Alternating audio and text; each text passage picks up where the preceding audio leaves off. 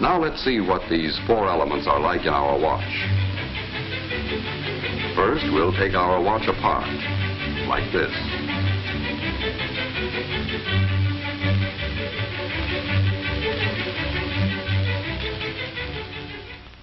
We'll begin with this part, the mainspring and barrel assembly.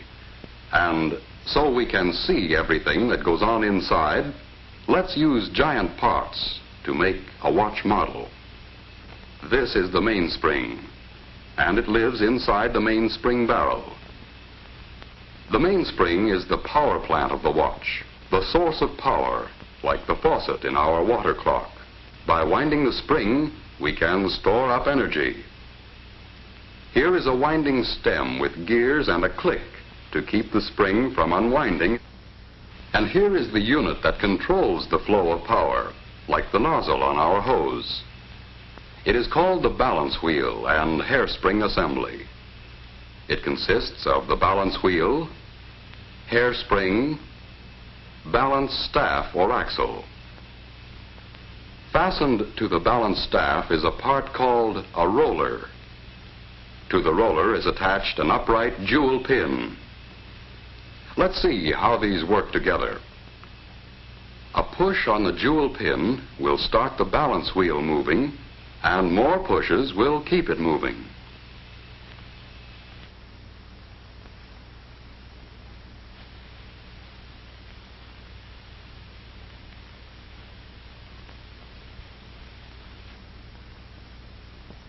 To do this job of pushing, we need this odd anchor-shaped lever called a pallet.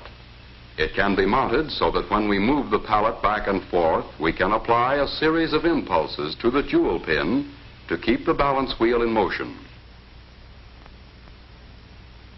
Now to the pallet cross arm, we add a pallet jewel shaped like this. Here is a wheel called an escape wheel, with teeth on it so shaped that they will push the pallet jewel and jog the balance wheel into motion.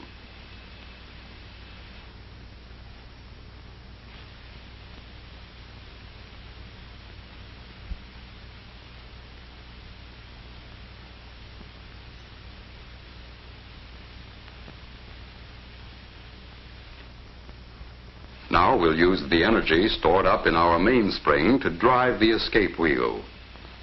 As the mainspring uncoils, it causes the barrel to rotate with it. That didn't last long, did it? Let's try it again. Once things get started, there's nothing to stop them. What we need now is a way of holding the power in check, releasing it a little at a time just when it's needed. Another pallet jewel at the other end of the pallet crossarm will do the trick. Just as the first pallet jewel gets a push from the escape wheel, the second pallet jewel locks against another tooth of the escape wheel to hold the power of the mainspring in check. But the balance wheel keeps swinging, and the jewel pin moves the fork end of the pallet until the escape wheel is again unlocked. But when we connect the mainspring directly to the escape wheel, the power is soon exhausted. In an actual watch, it would last only a few seconds. What we need is a way to stretch the power so it will last for more than a day. In our water clock, we used a hose to transmit power from the faucet to the nozzle. We also need a way to transmit power here. So let's add a system of gears and wheels. We'll stretch them out in a line instead of in their usual closely confined location in a watch. Look at the gears a moment and see what they do. First, a small partial turning of the mainspring barrel drives the center wheel a complete revolution.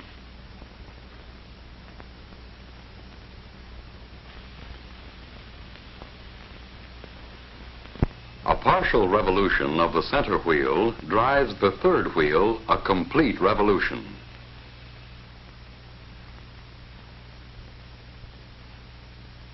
and this in turn drives the fourth wheel much further.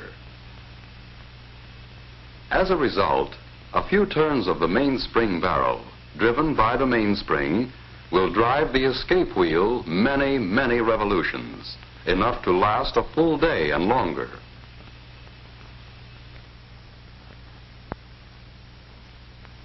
What we have now is a complete model watch train. Through the gears, the mainspring drives the escape wheel. The escape wheel teeth push first on one pallet jewel and then the other. The pallet fork nudges the jewel pin on the balance wheel to keep it moving. The swinging balance wheel on its return trip moves the pallet fork.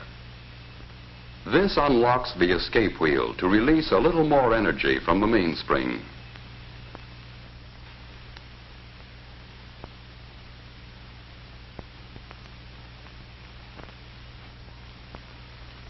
Back and forth, the balance wheel swings, controlled by its small coiled spring, the hairspring, in perfect rhythm.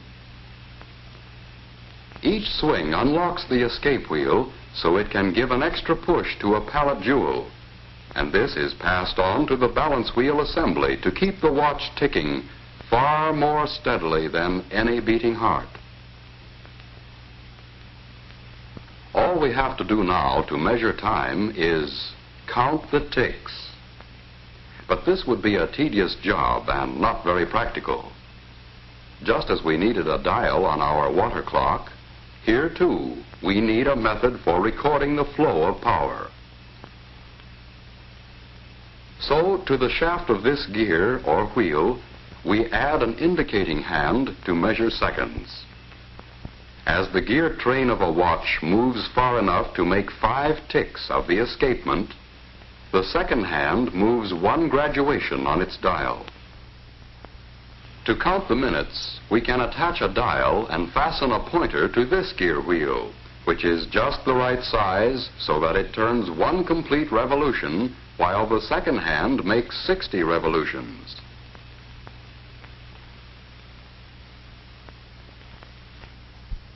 And to count the hours, we can have another pointer geared just so to move one complete revolution every 12 hours. The second hand makes a complete revolution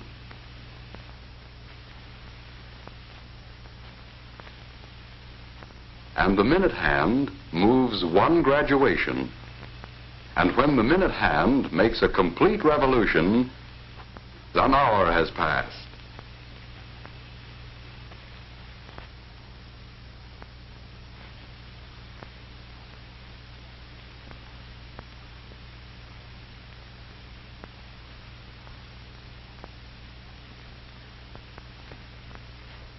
Now we can tell what time it is.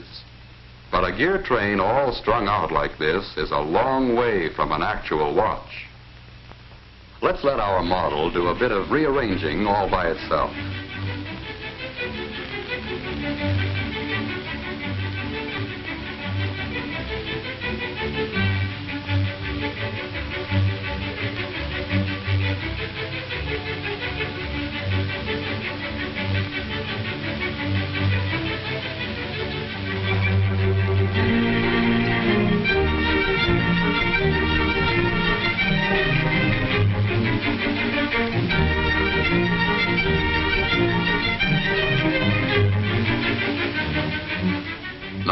What time it is and how and why we know. A fine watch itself is, of course, a compact precision mechanism with parts miraculously small and fashioned by craftsmen with incredible accuracy.